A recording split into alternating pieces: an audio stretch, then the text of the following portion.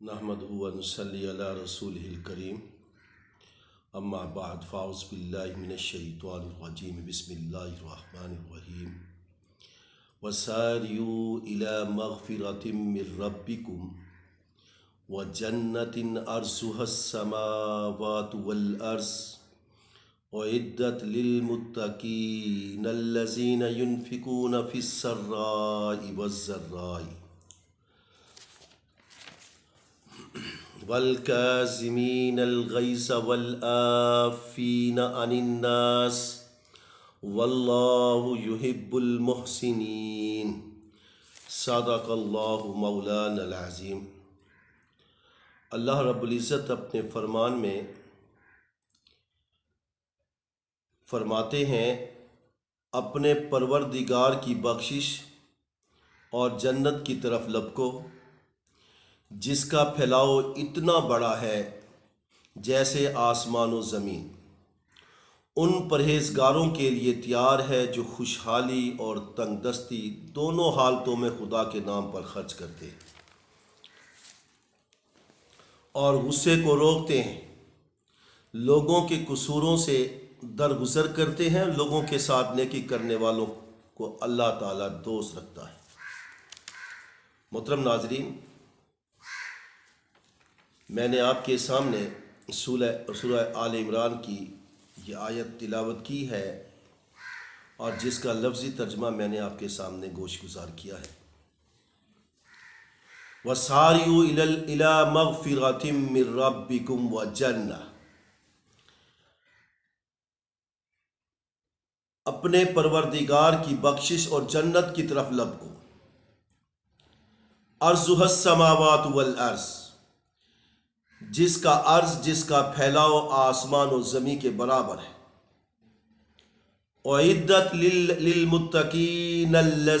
युनफ़िकून फ़िस्सर्राइ वज़्ज़र्रा ये उन मुत्तकियों के लिए है जो तंगदस्ती में और खुशहाली में खर्च करते रहते हैं, इन्फाक फ़ी सबीलिल्लाह करते हैं। मोहतरम नाजरीन अल्लाह रब्बुल इज़्ज़त ने जन्नत की शर्त और जन्नत को हासिल करने का क्राइटेरिया हमारे सामने रखा है कि जन्नत उसे मिलेगी जो तंग दस्ती में भी अल्लाह के नाम पे खर्च करता है और जो खुशहाली में भी खर्च करता है।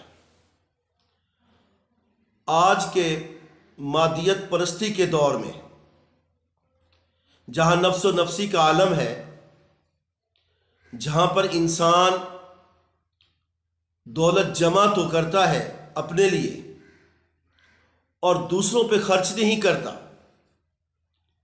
लेकिन जन्नत के हकदार वो लोग होते हैं जो अल्लाह की नाफरमानी से डरते हैं, तकवा इख्तियार करते हैं। उनके हालात कैसे ही क्यों ना हो? वो तंगदस्त ही क्यों ना हो? वो तंगदस्ती में भी अल्लाह के नाम पे खर्च करते हैं और खुशहाली में भी अल्लाह के नाम पे खर्च करते हैं। और वही लोग, वल काजिमीन अलगैजा गुस्से को रोक लेते हैं, गुस्से पे जब्त करते हैं। वल आफीन नास और लोगों के कसूरों को माफ़ कर देते हैं। वल्लाह अल्लाह ताला नेक लोगों को, नेकी करने वालों को दो सकता है। अब यहाँ पर हमें मालूम होता है कि अल्लाह के यहाँ नेक लोग वो है जो तंगदस्ती में, खुशहाली में अल्लाह के नाम पे खर्च करते जो गुस्से के वक्त खुदा की मोहब्बत में आकर, इस जन्नत की तमा में आकर, अल्लाह के फरामीन के ताबेदारी में आकर वो लोगों पे गुस्सा नहीं करते, गुस्से को गुस्से को ख़त्म कर देते और वो लोग जब कोई उनके साथ ज्यादती करता है तो वो लोगों को माफ़ भी कर देते हैं। तंगदस्ती के वक्त खर्च करना खुशहाली के वक्त खर्च करना अल्लाह के नाम पर। गुस्से को काबू में लाना और लोगों के कसूर माफ़ करना। जो ये चार काम करता है, तंगी में भी खर्च करता है, खुशहाली में भी खर्च करता है, गुस्से के वक्त गुस्से पे काबू रखता है और लोगों को माफ़ करता है। अल्लाह ताला ने उन लोगों को मोहसिन कहा है। ये लोग मोहसिन हैं। ये लोग नेकोकार हैं और अल्लाह इन्हीं लोगों को पसंद करता है। अब हम ज़रा अपने गरेबा में झांकते हैं। क्या हम उन लोगों में से हैं जो जन्नत की तलब रखते हो? जो जन्नत की तलब में खर्च करते हो? चाहे हमारे हालात कैसे ही क्यों ना हो। हम अपनी वसात और इस्तात के मुताबिक क्या हम खर्च करते हैं? क्या हमें जन्नत की तलब नहीं है? जब हमें गुस्सा लगता है तो गुस्से के वक्त हम अल्लाह और उसके रसूल के फरामीन की फॉलोनेस करते हुए क्या हम गुस्से को काबू में लाते हैं? क्या हम लोगों के कसूर माफ़ करते हैं? अगर हम ऐसा नहीं करते तो हम नेक नहीं हैं। हम अल्लाह के नज़दीक मोहसिन नहीं हैं। हमें इस आयत करीमा की रोशनी में ये एक मैसेज मिलता है। जैसा कि आयत में है, वसारियू इला मगफिरतिम रब्बिकुम व जन्नतिन अर्जुहसमावाति वल अर्ज़। व इद्दत भागो, चलो, लपको। अपने परवरदिगार की बख्शिश की तरफ़ और उस जन्नत की तरफ़ जिसकी, जिसका फैलाव दुनिया और आसमां के बराबर है। लेकिन किसके लिए तैयार है? वदत लिलमुत्तकीन। ये तकवा इख्तियार करने वालों के लिए, परहेजगारों के लिए ये तैयार है। आगे, परहेजगारों की सिफात अल्लाह रब्बुल इज़्ज़त गिनवाते हुए सबसे पहले फरमाते हैं, अल्लजीन युनफिकून। वो लोग जो खर्च करते हैं और करते रहेंगे। मुजारे का सीगा है। फेले मुजारे में फेले हाल और फेले मुस्तकबिल दोनों आ जाते हैं। युनफिकून। खर्च करते हैं फेले हाल में, मौजूदा ज़माने में जो वो, जब वो ज़िंदगी, जो जो उनका वक्त गुजर रहा है, युन फिकून और वो खर्च करते रहेंगे।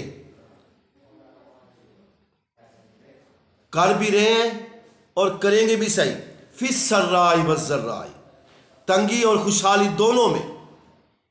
तो मोहतरम नाजरीन, खर्च करने के बाद एक इतनी वसत कलबी होनी चाहिए कि जब आपको कोई चीज़ नापसंद है, नागवार है, उस पर गुस्सा आता है।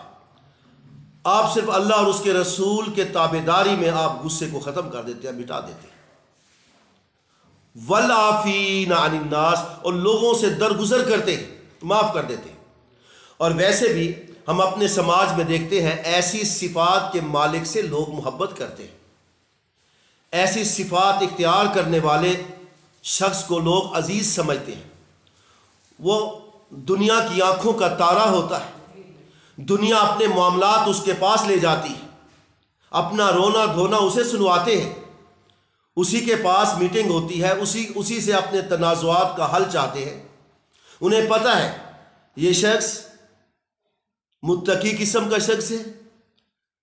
तकवा और परहेजगारी इसके औसाफ में है। ये आदमी लोगों के लिए खर्च करता है। ये आदमी गुस्से पर काबू रखता है सोच समझ कर बात करता है। किसी के साथ नाइंसाफ़ी नहीं करता। अगर कोई गलती कर भी लो, लोगों में से तो उनको माफ़ भी कर देता है। मोहतम नाजरी मौलाना ज़फ़र अली ख़ान ने मुझे शेर बहुत ही पसंद है कि ज़फ़र उसको आदमी न कहिएगा हो वो कैसा ही साहिब फ़हम ज़का जिसे ऐश में याद खुदा न रही, जिसे तैश में खौफ खुदा न रहा। वसलम